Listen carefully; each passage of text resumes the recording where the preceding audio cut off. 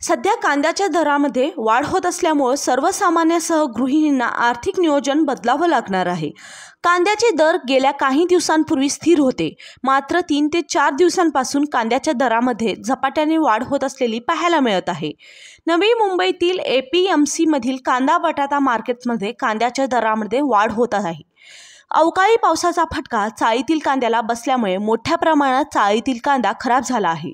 त्यामुळे कांद्याच्या किमती ज- मध्ये वाढ होत आहे. ए पी एम सी मार्केटमध्ये आज कांद्यासाठी एक किलोला पंचवीस ते तीस रुपये मोजावे लागत आहेत. किरकोळ बाजारात कांदा चाळीस ते पन्नास रुपयानं विकला जात आहे. येणाऱ्या काळामध्ये कांद्याचे दर अजून वाढण्याची शक्यता आहे. मात्र शेतकऱ्यांच्या मालाला सध्या चांगली किंमत मिळत आहे. यापूर्वी चांगला भाव नसल्यानं शेतकरी कांदा शेतामध्येच फेकून देत होते. तेव्हा शेतकऱ्याला प्रचंड प्रमाणात तोटा सहन करावा लागत होता. मात्र गेल्या चार ते पाच दिवसांपासून थोड्याफार प्रमाणात कांद्याला चांगला बाजारभाव भेटत आहे. ते शेतकऱ्यांसाठी चांगलेच आहे. चाळीतील कांदा सत्तर ते ऐंशी टक्के खराब झाला आहे. त्यात उशिरा पाऊस झाल्यामुळे कांद्याची उ- लागवड उशिराने झाली आहे.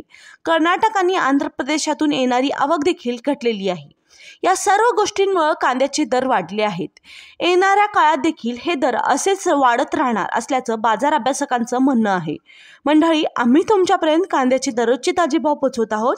दररोजचे लेटेस्ट अपडेट लवकर मिळवण्यासाठी आमच्या हॅलो बळीराजा चॅनलला सबस्क्राईब करा आणि बेल आयकॉनवर क्लिक करा. जेणेकरून आमचे अपडेट तुम्हाला लवकर मिळतील. तसंच आमचं फेसबुक पेज हॅलो बळीराजाला लाईक आणि फॉलो करायला विसरू नका.